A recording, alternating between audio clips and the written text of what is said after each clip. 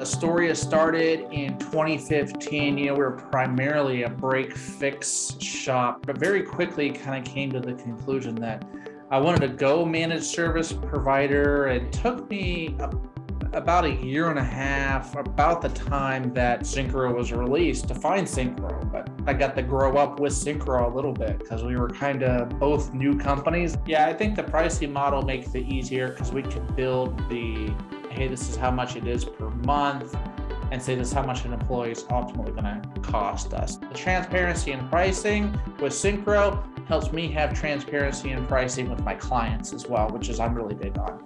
As amazing as is everything it does, it also plugs into some really great integrations because Syncro realized that there's a lot of other things out there that it's maybe not prepared to do or wasn't prepared to do or just beyond the scope of the platform. And it integrates really well into some other great platforms to take the stress even more out of the business, to give us some more data to, to make things work even better. And I just think that's just makes it all the easier just to go in and say, okay, here's my Syncro data, and that's what I need. And, and you can just flow very easily with it.